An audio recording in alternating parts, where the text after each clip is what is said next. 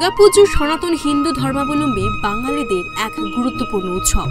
যে উৎসব শরৎকালে হোক কিংবা বসন্ততে হোক না কেন, তবে শরৎকালের শারদীয় উৎসব বৃহৎ পরিসর হলেও বসন্তকালের বাসন্তী পুজো কালক্রমে কিন্তু জনপ্রিয় হয়ে উঠছে। দিন দিন বাড়ছে এই পুজোর সংখ্যা। একটা সময় বিভিন্ন মন্দির কিংবা বনেদি পরিবারের মধ্যে বাসন্তী পুজো সীমাবদ্ধ ছিল।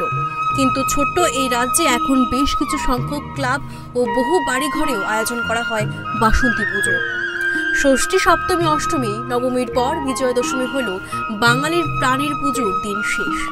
এই বিশেষ দিনটির জন্য সারা বছর অপেক্ষা করে থাকেন যেন মহিলারা।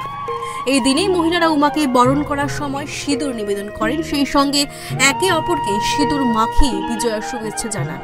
এই ঐতিহ্যময় প্রথা সিঁদুর খেলা নামে পরিচিত। তিথি অনুযায়ী শুক্রবার বাসন্তী পুজোর বিজয় দশমী।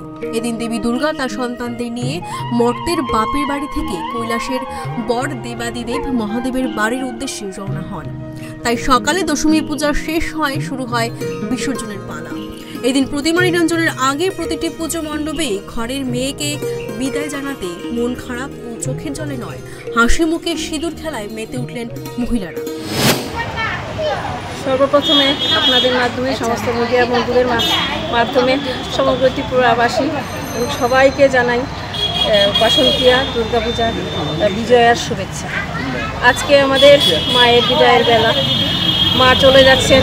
মার কাছে আমরা এটাই চাইব যে মা সবাইকে সুখ, শান্তি, সম্প্রীতি প্রদান করুক। সবাই যেন, সব মা বোনরা যেন আমরা সবাই যার যার সংসার নিয়ে, সবাইকে নিয়ে সকল স্তরের মানুষকে নিয়ে যেন সুখে শান্তিতে থাকতে পারি। আর এই মা, আজকে এটাই আমাদের বার্তা থাকবে, মায়ের কাছে, মা, যাওয়ার আগে আমাদের আশীর্বাদ করে যাও, যেন আমরা সামনের বছর তোমাকে নিয়ে আবার এই দিনে এরকমভাবে সবাইকে নিয়ে আনন্দ করতে পারি। বাসন্তী পুজোর বিজয়া দশমীতে সিঁদুর খেলার পাশাপাশি মহিলারা একে অপরের মধ্যে কৌশল বিনিময় করেন।